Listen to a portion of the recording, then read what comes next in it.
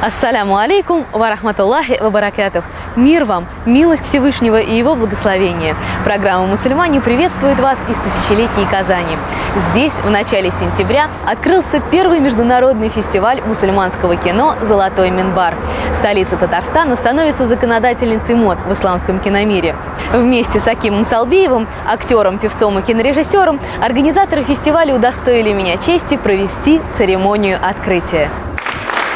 Салам алейкум, дорогие любители кино. Мир вам, милость Всевышнего и его благословение. В тот день один из крупнейших кинозалов Казани был переполнен. Тысячелетний город встречал участников и гостей первого международного фестиваля мусульманского кино «Золотой Минбар».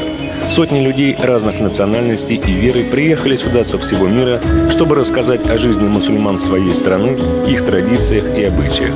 Форум открыли его организаторы. Мы хотим показать доброе лицо мусульманина.